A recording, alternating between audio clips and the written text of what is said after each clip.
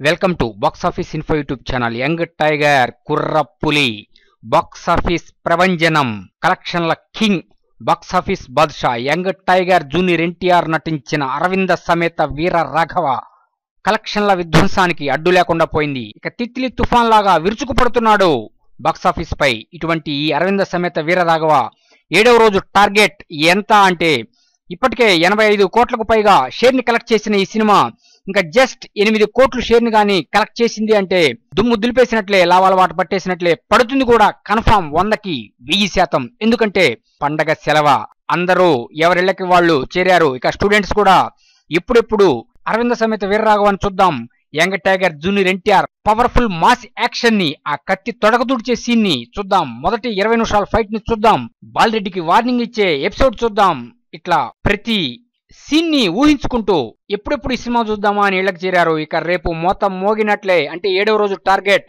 World wide maximum ఏడు నుంచి ఎనిమిది కోట్లు షేర్. ఒక పదిహేను కోట్లు గ్రాస్. చాలు అంతే దుమ్ము దులిపేసినట్లే నూట యాభై కోట్లకు దగ్గరికి వస్తాడు. సో టోటల్గా ఈ టార్గెట్ని ఛేదిస్తాడని మా బాక్సాఫీస్ ఇన్ఫో వందకు వంద శాతం నమ్ముతుంది.